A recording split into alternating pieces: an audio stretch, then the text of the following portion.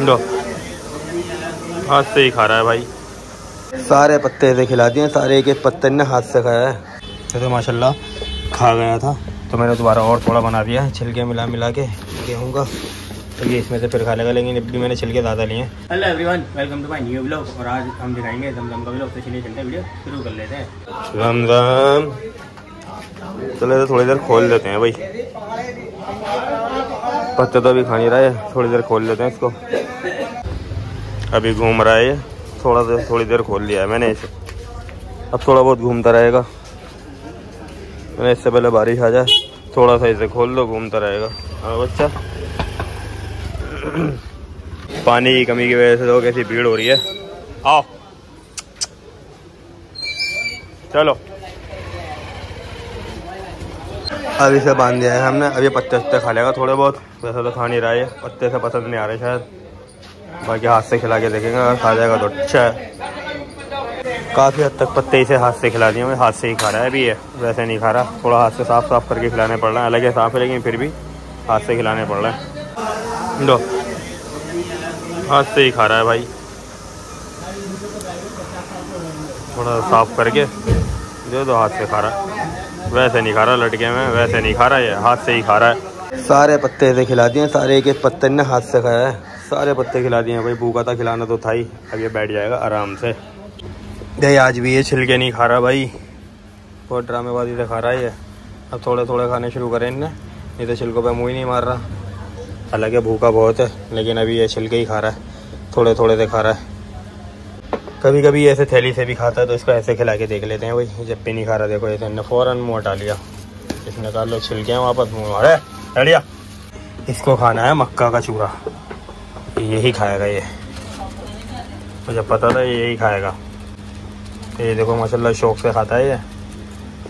दूसरी बार खा रहा है। छिलका भी इनने पहली बार ऐसे खाया था, बिल्कुल ज़बरदस्त तरीके से। अब वो रोज़ मिलने लगा तो इसके लिए आम चीज़ हो गई। तो इसलिए उससे बोर हो गया। अब ये मक्का का चूरा खा रहा है, अब ये इससे ही बोर हो जाएगा मुझे लग रहा है। फिर कुछ और नया देना पड़ेगा इसको। पर गेहूँ खाता है, थोड़ा बहुत शौक से तो इसके बाद थोड़ा सा गेहूँ दिखा देंगे इसे।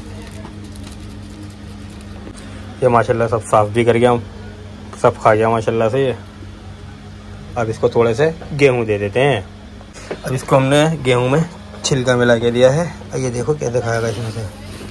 देखते हैं कैसे खाता है अब ये। छिलका मिला के कहीं ऐसा ना गेहूँ गेहूँ छाट छाट के खाता है। छिलका मिलाना कुछ फ़ायदा ना हो। लेकिन ये है कि हाँ थोड़ा माशाल्लाह खा रहा है गेहूँ के साथ छिलका। हाँ तो इसके साथ चल जाएगा मैंने गेहूँ कम लिया, थोड़ा छिलका ज़्यादा लिया लेकिन देखते हैं इसकी दिमागदारी। खैर, कमाल हो गया भाई इनने तो छिलके। गेहूँ के साथ खा लिए पर ये है कि हाँ बढ़िया करके खा लिए। चलो, इसी तरह खा लेगा छिलके, इसी बहाने। सही रहेगा।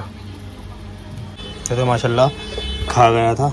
तो मैंने दोबारा और थोड़ा बना दिया है, छिलके मिला मिला के गेहूँ का तो ये इसमें से फिर खा लेगा लेकिन अभी मैंने छिलके ज़्यादा लिए हैं। अभी गेहूँ के थ्रू छिलका भी खा लेगा, क्योंकि छिलका जो है सेहत के लिए बच्चों की अच्छा है। लूज मोशन से सेफ्टी है पहली बात तो। और फिर गेहूँ गर्म होता है और पेट में जाके ज़रा गड़बड़ी भी हो सकती है, इसलिए मैंने छिलका साथ में लगा दिया इसके, अभी इसके साथ खा लेगा बढ़िया करके। तो माशाल्लाह अच्छा खासा इसने खा लिया है। अब थोड़ा और खा लेगा ये बस। ये माशाल्लाह खा पी के बैठ गया है। बढ़िया करके दम मेरा। कहाँ ये बच्चा?